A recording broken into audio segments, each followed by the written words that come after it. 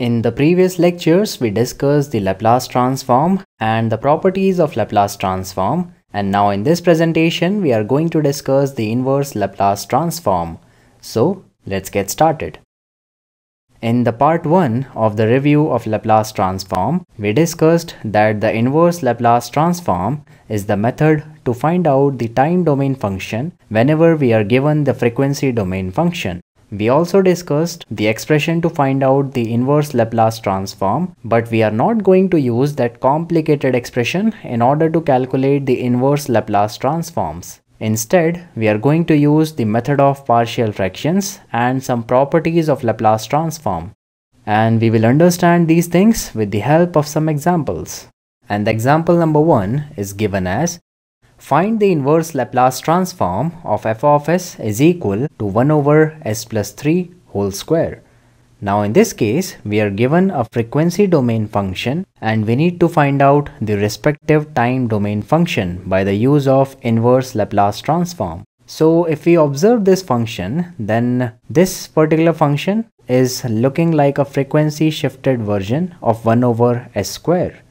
If I assume one function as 1 over s square, then we can say this is a frequency shifted version of the function 1 over s square. And there is a shifting in the frequency domain, then there will be multiplication of an exponential function in the time domain by the frequency shifting property. So we can find out the time domain function of f of s by using the frequency shifting property. So moving on to the solution, if we know the inverse Laplace transform of 1 over s square, then we can easily calculate the inverse Laplace transform of 1 over s plus 3 whole square by using the frequency shifting property.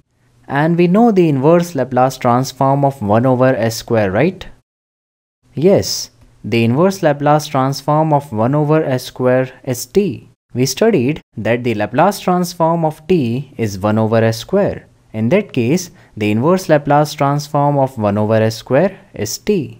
And now in this case, f of s is equal to 1 over s plus 3 whole square. Now if we compare this function with this particular function, then we can clearly say that this function is a frequency shifted version of 1 over s square. So we can easily calculate the inverse Laplace transform of f of s by using the frequency shifting property. So if we have the shifting in frequency domain, then exponential function is multiplied in the time domain. So we need to multiply e to the power minus 3t in the time domain because we are shifting this function in the left hand side by a factor of 3. So if plus 3 is here, then we need to multiply e to the power minus 3t in the time domain.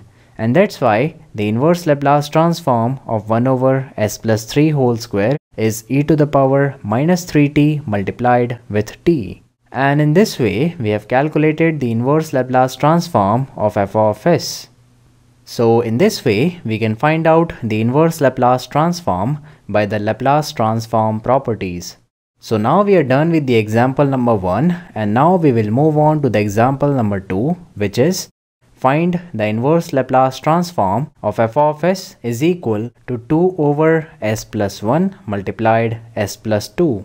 In this case, there are two factors which are multiplied in the denominator and it is difficult to find out the inverse Laplace transform for this particular fraction. But if we split these two factors as two different fractions, then we can easily calculate the inverse Laplace transform and we can split these two factors by the use of partial fractions.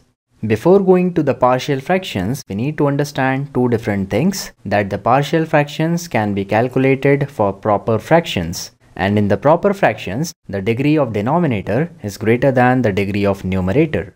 In this case, the degree of denominator is 2. If we multiply s with s, then we will have s square and the highest power of s in this case is 2 and in the numerator the highest power of s is equal to 0. So we have a proper fraction and we can apply the partial fractions. Moreover, this is the case where the denominator is having real and distinct roots. So this is the first case of partial fractions and we will discuss some more cases of partial fractions in the next lecture. So moving on to the solution, by the partial fractions we have f of s is equal to 2 over s plus 1 multiplied s plus 2 and now by partial fractions we can split this fraction as a over s plus 1 plus b over s plus 2. By this method we have splitted these factors as two different fractions. Now we need to calculate the value of a and the value of b. Firstly, I will calculate the value of a in the first step and then in the step number 2 I will calculate the value of b. So in the step number 1 we will multiply this factor s plus 1 on both the sides. So we will have 2 over s plus 2 is equal to a plus s plus 1 multiplied with b over s plus 2. In this way, we have isolated the factor a and if we put s is equal to minus 1, then this factor will become 0 and we can calculate the value of a. We have a is equal to 2. In this way, we can wisely choose the values of s in order to calculate the values of a and b. So now we have calculated the value of a and now we will find out the value of b in the step number 2. And in the step number 2, we will multiply the factor s plus 2 on both the sides. So we have 2 over s plus 1 is equal to a multiplied with s plus 2 over s plus 1 plus b. By multiplying with s plus 2 on both the sides, we have isolated the factor b. And now we can calculate the value of b by substituting s is equal to minus 2. And the value of b will be equal to minus 2. So now we have calculated the values of a and b and now we will substitute these values in this equation and we will get f of s is equal to 2 over s plus 1 plus minus 2 over s plus 2. This plus is multiplied with minus so we will have f of s is equal to 2 over s plus 1 minus 2 over s plus 2. And now we can easily calculate the time domain function by applying the inverse Laplace transform in this step. What is the inverse Laplace transform of 1 over s plus a? Yes, it is e to the power minus at because we have studied the Laplace transform of e to the power minus at. It is 1 over s plus a. So the inverse Laplace transform of 1 over s plus a is e to the power minus at. In this case, we have 1 over s plus 1. So its inverse Laplace transform will be e to the power minus t because a is replaced with 1. Similarly, 1 over s plus 2 will have an inverse Laplace transform e to the power minus 2t because a is replaced with 2 and both these fractions are multiplied with 2 so we will have the time domain function as 2 multiplied with e to the power minus t minus 2 multiplied e to the power minus 2t.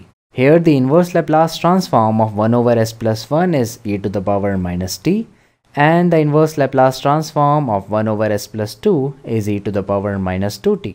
So now we are done with this particular case of partial fraction. We will discuss one more case of partial fraction in the next lecture. Thank you for watching this lecture. I'll end this lecture here. See you in the next one.